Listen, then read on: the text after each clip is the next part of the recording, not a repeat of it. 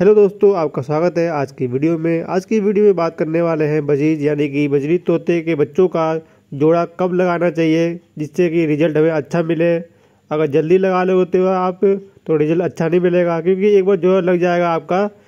तो उसके बाद आप लगातार ब्रीडिंग करते रहेंगे तो फिर बाद में कई तरह की प्रॉब्लम आती है, जैसे कि अंडे में से बच्चे ना निकले, अंडे कम दे, बच्चे और बीमार हो जाए, बच्चे छोटे बच्चे मर जाए तो ये सब कई सारी प्रॉब्लम आती है। अगर जल्दी जोड़ लगा देते हो, चार महीने पे, साढ़े चार महीने पे, पाँच महीने पे जोड़ लगा देते हो तो कई तरह से प्रॉब्लम आती है। तो सबसे अच्छा तरीका ये है कि अगर बर्ड्स आपका, बच्चे जो होते हैं छः महीने का हो जाए, तभी जोड़ लगाए। अगर बाहर से लेके आ रहे हो तो कंफर्म कर ले कि ये छः महीने का बर्थ हो गया। या घर का बच्चा है तो नोट कर ले कि हाँ बच्चा कब निकला था छः महीने से पहले जोड़ ना लगा छः महीने कंप्लीट हो जाए छः महीने हो जाए, सात महीने हो जाए जितना लेट करोगे उतना ठीक रहेगा। वैसे छः महीने बाद बिल्कुल सही से जोड़ लगा दोगे तो फिर ब्रीडिंग सही होगी। खासतौर पर फीमेल छः महीने से ऊपर होनी चाहिए। मेल मान लो पाँच महीने का भी है तो फिर कोई प्रॉब्लम नहीं है।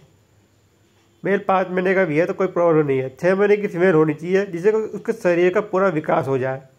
बिल्कुल सही हो जाए, जो भी उसको कमी हो मल्टीविटामिन खिला के, पिला के बिल्कुल तैयार कर दो उसको। छः महीने हो जाए कैल्शियम भी खिला दें उनको। छः महीने हो जाए तो आप उनको ब्रीडिंग में डाल दें। उस, उसके बाद आपको रिज़ल्ट अच्छे मिलेगा।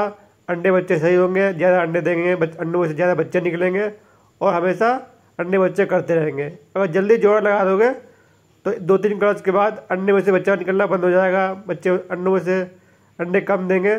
तो ये सब प्रॉब्लम आनी शुरू हो जाती है। इसलिए कम से कम छः महीने हो जाए, तभी बजीज के बच्चों का जोड़ लगाए। तो वीडियो कैसी लगी जोड़ कमेंट करके बताना।